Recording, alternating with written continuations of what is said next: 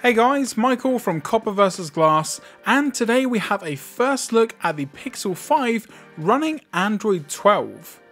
Well, kind of. Let me explain. So over the last couple of days we have had a bunch of leaked screenshots of what is supposedly Android 12. So today we're going to be looking through what we have and try and figure out what's going on. Of course, if there's anything that I've missed or there's a function that you think will be in Android 12, let me know in the comments below. Also keep in mind that Google dropped a super early look at Android 12 around this time last year, so it may be that these features are not too far off for us Pixel users. So first up we have the home screen, and you will see a trend of all of these screenshots that the colour palette isn't a light or dark theme, but seems to match the wallpaper and takes colours directly from it. Now as you can see we do have different widgets for different applications like Facebook and the phone and each one is in its own widget on the home screen. Now this may be an iOS inspired home screen where there are mainly widgets or it may just be Android being Android. Now with these ones you can see that you've got a new conversation widget in Android 12 and this can be expanded to show more and all of the conversations. Now this will show what's going on and with what application. And this last screenshot looks to be some sort of setup or explanation screen of the new conversation feature.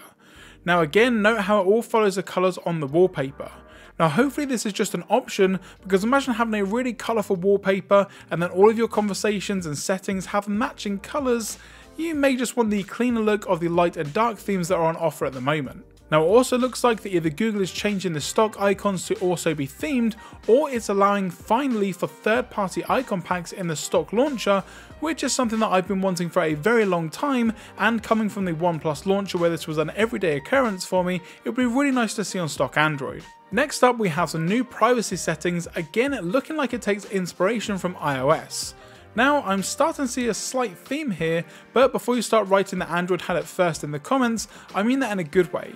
Now first up you have a new drop down for when an app wants to use the camera or the microphone and a setting for more in-depth options which is great to see.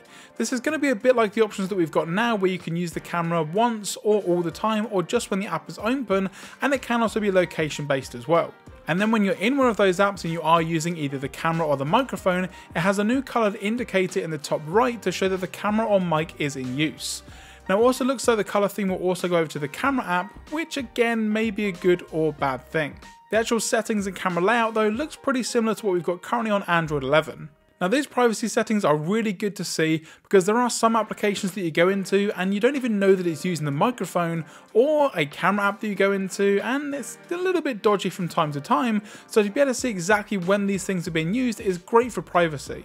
And then the last screenshot we had was the notification pull down. Now this is a new look and it looks really good. It keeps the separation of Android 11 with the conversations and other notifications and the time and other indicators have been moved slightly and the quick settings look very simple. Now I'm hoping you can have more than 4 though, currently you can have 6 and then you can expand it, however with this newer version it looks like there's only 4 and the icons are a little bit larger so hopefully there's a little bit of customization around that as well. But apart from that, the actual notification shade looks pretty similar to what we're currently used to, and again it's more about the colour and theming options going over to pretty much every part of the device. And that's kind of it for this video and our quick look at what is supposedly Android 12.